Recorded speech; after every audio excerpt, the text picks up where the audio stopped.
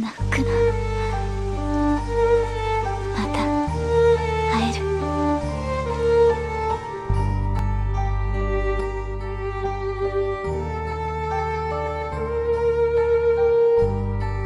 冷静。なれる。間に合いました。人の死は数多く経験してきた。だが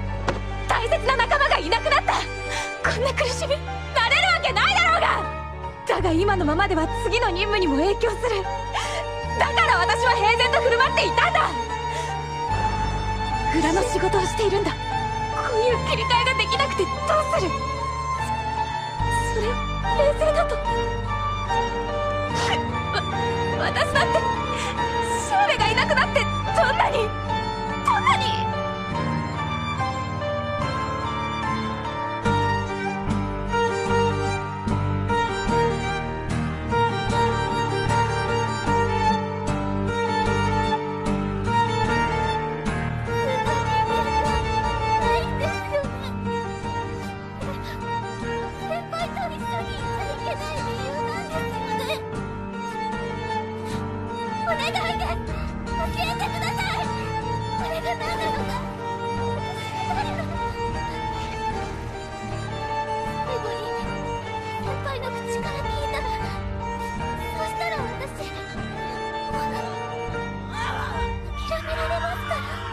メだ。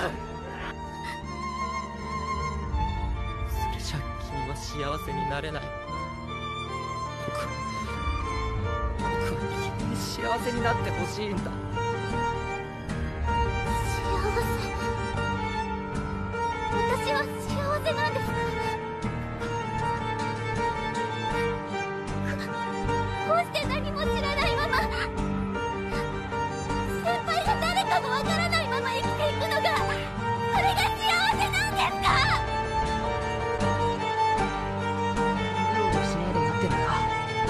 俺たちもすぐに行くからさ。